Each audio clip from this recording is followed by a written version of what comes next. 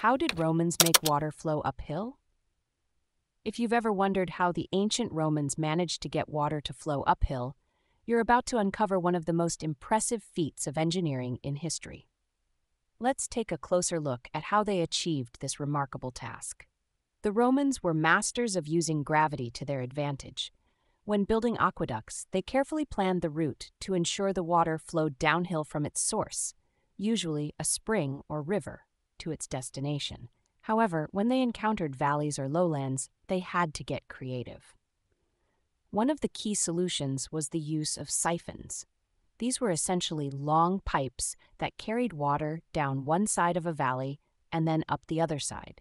Here's how it worked the water would flow down the pipe on one side of the valley, gaining speed and pressure, and then it would climb up the other side, using the pressure to push the water uphill. This method was based on the principle that water in a pipe will always return to its original height, allowing the Romans to cross deep valleys without needing to build high bridges. Another method involved building elevated aqueducts, often supported by arched bridges. These bridges were designed to carry the water across valleys while maintaining a gentle slope that allowed the water to flow continuously.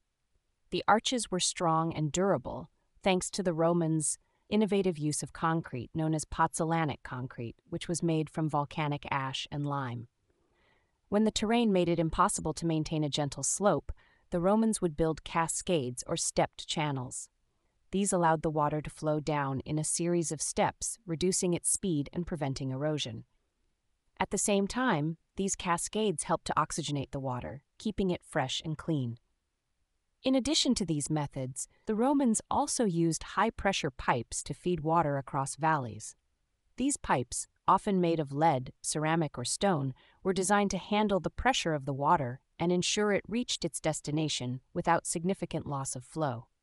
The combination of these techniques, siphons, elevated aqueducts, and high pressure pipes, allowed the Romans to overcome the challenge of making water flow uphill, ensuring a constant and reliable supply of water to their cities and towns. This engineering prowess was a testament to their ingenuity and skill, and many of these aqueducts remain functional to this day.